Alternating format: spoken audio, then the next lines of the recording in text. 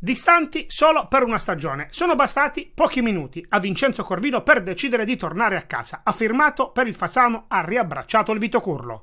Ci è voluto ben poco per, per convincermi a tornare a Fasano, è bastata una chiamata da parte del presidente e nel momento in cui abbiamo parlato forse 5 minuti, io ho dato subito la mia disponibilità di tornare a Fasano e l'emozione nel momento in cui sono andato lì a Fasano per, per mettere la firma è stata veramente, veramente bella.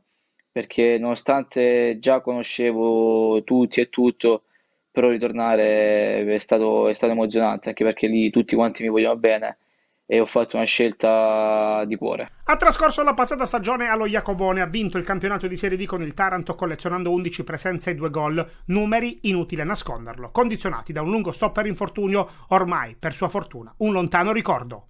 Fisicamente, grazie a Dio, ho recuperato il, il ginocchio, sto, sto molto bene e mi sto allenando ogni giorno per arrivare nelle migliori condizioni possibili già da ritiro. I numeri con la maglia del Fasano sono di spessore per Corvino, 38 gol realizzati in 80 gare in biancazzurro. L'auspicio, per nulla nascosto, della nuova stagione quello di arrivare in doppia cifra. È sempre stato il mio obiettivo ogni anno, poi raggiungere l'obiettivo qui a Fasano, fare 50 gol a Fasano, secondo me è veramente bello e rimarrei ancora di più magari nel, nel cuore del, della tifoseria. 50 gol con la maglia del Fasano nel mirino dunque per far felice una tifoseria a cui è particolarmente legato. E farò di tutto per, per far sì che ogni giocatore, ogni singolo giocatore dà tutto per questa maglia, suda questa maglia domenica dopo domenica, anche durante la settimana e prometto che faremo, faremo, veramente di tutto per far felice la gente. Sarà una serie D di livello altissimo. Bitonto Cernione e Lavelo si sono già scatenate sul mercato. Molfetta e Nardò hanno messo a segno diverse operazioni in entrata. Il Fasano, tuttavia, pensa solo alle vicende di casa propria. Penseremo domenica dopo domenica.